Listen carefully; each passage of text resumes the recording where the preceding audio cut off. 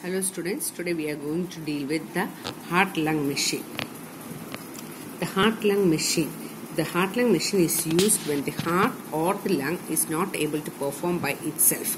That is mainly used when the surgery is being taking place. When the heart is not able to uh, um, pump the oxygenated blood when the heart is not able to maintain the blood circulation during the surgery or when the lung is not able to is also oxygenate the blood as the lungs cannot operate during surgical pro- procedure. That is when the heart is not able to uh, maintain the blood circulation or when the lung is not able to oxygenate the blood um, uh, during surgical procedure we use the or we depend on the um, heart lung machine. Here the heart lung uh, the lung works when there is inside the lungs there is a vacuum. And when this vacuum is less than the atmospheric vacuum we can see that the air is being pumped into the lungs. But uh, when the surgery is taking place the lungs are being opened and as a result there is no vacuum produced inside the lungs. At that stages we are not able to function the lungs and we have to depend on the heart lung machine. And similarly when the heart is not operating or the vessels are not being uh, has to be replaced or has to be um, uh, surgically surgery has to be done in that case also we have to depend on the heart lung machine. Now coming to the schematic representation of the heart lung machine we can see that cannulas are being are being connected from the right artery and from that there it is being connected to the input side of the ox- oxygenator or heat exchanger. The input part of the oxygenator that is the O2 negative side minus side uh, it is being connected. The um, uh, cannula from the right artery is being connected to the post negative side of the negative O2 minus side it is being connected here. Uh, the uh, the blood the blood is being we can see that here the blood is being filtered oxygenated and uh, heated and is being given back to the body through the uh, to the uh, to the body to the aorta.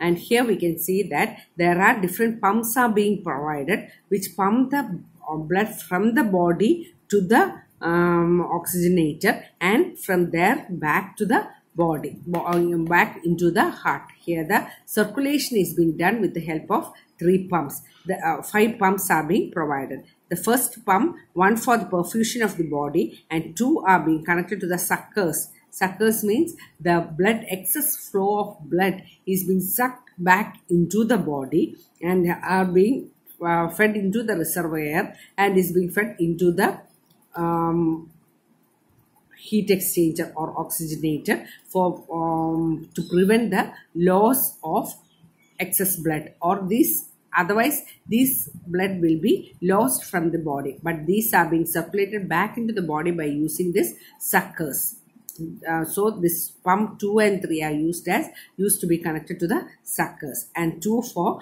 perfusion of the coronary artery.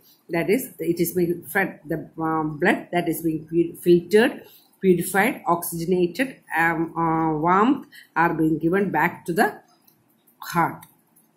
Now coming to the uh, working principle we can see that the oxygenator is designed to transfer the oxygen to the infused blood and remove the carbon dioxide. The heat exchanger consists of water coils isolated but thermally coupled to the body.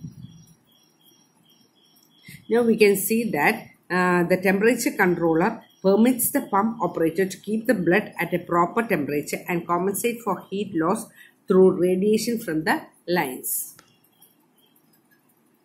The blood is taken from the patient's vena uh, vena cava and is being passed through the oxygenator where it is being passed through a water pump and a thermal controller. The temperature controller controls the temperature of the blood that is being flown from the body to the uh, device and then back to the uh, heart.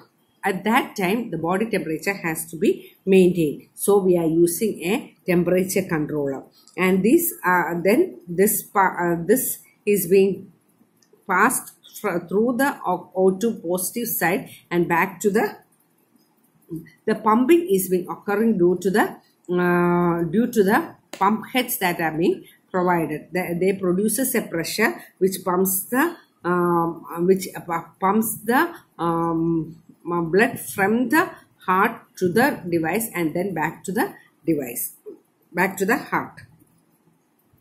Uh, the uh, then coming to the uh, this is being done in the case of a heart lung machine. Thank you.